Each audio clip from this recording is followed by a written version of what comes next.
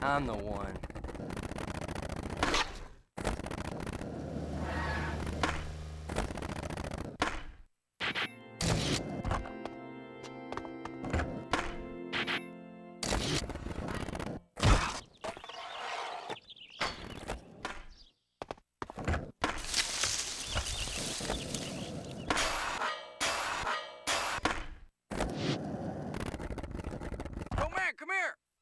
Go shred it up then.